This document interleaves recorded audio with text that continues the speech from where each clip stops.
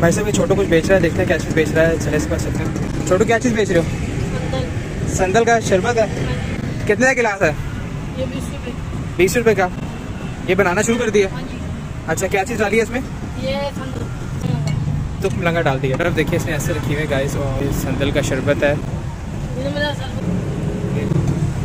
ये इसको मिक्स किया जा रहा है। ये जो हमारा संदल का शरबत है